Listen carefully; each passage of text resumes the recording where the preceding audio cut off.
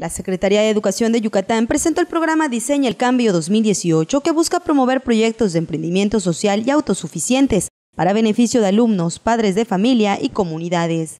La titular de la CGI, Loreto Villanueva Trujillo, informó que hay más de 33.000 escuelas en todo el país que forman parte de este programa y Yucatán ha participado con un total de 344 proyectos. Recordó que la convocatoria para participar en esta edición cerró el pasado 28 de octubre y tuvo cuatro temáticas. La primera, Siente, que consiste en sensibilizar a los alumnos sobre los problemas de su entorno. Haz, que consiste en implementar un plan de trabajo en toda la comunidad. Imagina, que es dejar volar la imaginación de los alumnos y obtener ideas de solución al problema. Y finalmente, Comparte, que es compartir logros de la comunidad que inspiren a otros a diseñar un cambio. La titular de la CGI indicó que con este programa los alumnos desarrollan habilidades como comunicación efectiva, empatía, autoconocimiento, resolución de problemas y pensamiento creativo. Queremos que estos proyectos se vayan a todo Yucatán, porque en todo Yucatán tenemos mucha riqueza de, que, de, nuestros niños y nuestros jóvenes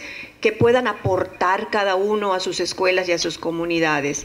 Cada proyecto puede ser diferente, así como dice este, el dicho, ¿verdad? es sentir, hacerles a los, a los jóvenes, a nuestros alumnos, sentir cuáles son no las necesidades, sino las oportunidades de mejora, ¿verdad? Sentir, imaginarnos cómo las podemos resolver, cómo juntos en un trabajo colaborativo con nosotros, con los maestros, con los padres de familia, con las autoridades de la, de la comunidad, podemos resolver los problemas nosotros, no esperar que venga fulanito, que hagamos la gestión ante menganito o que lo mandemos a México para que nos vengan a, a solucionar las cosas.